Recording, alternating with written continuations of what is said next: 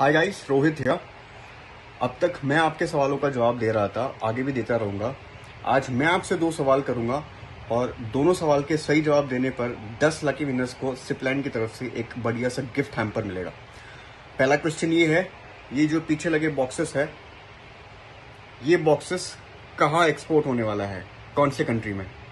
Second question ये है, ये बॉक्सेस में टोटल कितने सिपलाइन है? तो गैस कीजिए। और सिपलाइन की तरफ़ से बढ़िया सा गिफ्ट हैम्पर ले जाइए। गिफ्ट हैम्पर में क्या क्या होगा, ये भी हम अगले रील में बताएँगे आपको। Thank you